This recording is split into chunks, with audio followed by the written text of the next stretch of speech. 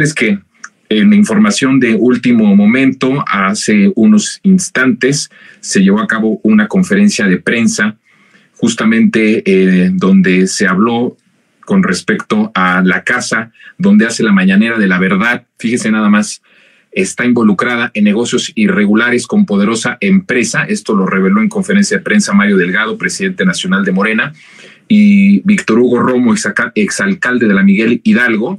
Se dijo ahí en esta conferencia que eh, justamente pues mm, no paga renta en el inmueble que utiliza para llevar a cabo las conferencias de prensa y que estaría involucrada esta propiedad pertenecería al grupo Magnos, un corporativo inmobiliario que habría resultado beneficiado con permisos y predios durante la gestión de Xochitl Gálvez como delegada en Miguel Hidalgo.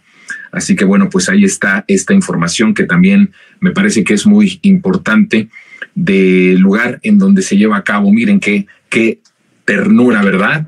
Qué bonito esto mientras se dice en el título conferencia La Verdad, eh, está haciendo esa conferencia en un inmueble de una empresa que fue beneficiada por ella misma cuando fue delegada de la Miguel Hidalgo. Si lo que yo les decía es que algunos pensaban que estaban ocupando y utilizando a Xochitl Galvez en la campaña electoral y yo siempre he pensado que sí, en cierta manera hay una manera, hay una forma ahí de utilizar a la candidata o a su persona pero por el otro lado, ella no es diferente a Peña Nieto, no es diferente a Calderón, eh, que ahora resulta que, bueno, pues de pitorreo, ¿no? Que se le encontró en el pasillo del baño.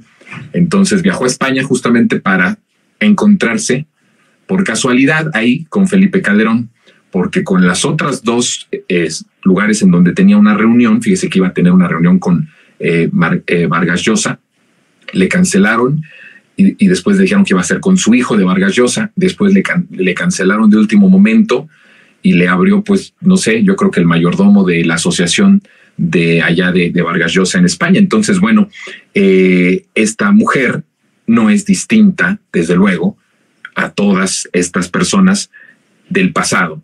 De hecho, creo, solo con las denuncias que hizo en su momento, las denuncias que hizo en su momento Víctor Hugo Romo, con respecto a eh, los contratos que se le dio millonarios son mayores. En todo caso, la corrupción de estos contratos, y eso que solamente me parece que fueron como tres o cuatro que se revelaron de más de ocho que, en ese momento dijo Víctor Hugo Romo que tenía las pruebas y de las cuales, por cierto, hay denuncias. Entonces, solo con estos tres, con tres permisos inmobiliarios de los que ella recibió eh, una cantidad millonaria en cuestión también de, pues de, favores. Les debo decir que incluso es mayor a lo que recibió Enrique Peña Nieto por los sobornos en la, en, por ejemplo, por, por el, el, punto este de la Casa Blanca, de la Casa, sí, de la Casa Blanca de Peña Nieto. Entonces, pues no es distinto a Xochitl Gálvez, a estos representantes de, del régimen, son lo mismo. Entonces, bueno, pues ahora habrá que esperar qué estupidez contesta Xochitl Gálvez, ¿no? Porque para contestar ella es muy bromista, se, se sale ahí brincando, ¿no? Ya sí la vio, ¿se acuerda usted del video de, Estados Unidos que salía brincando mientras le mentaban la madre los migrantes? Y ella es una persona muy burlona, nunca, nunca da una respuesta contundente. Y, y bueno, pues vamos a seguir hablando de más de esto, porque fíjense.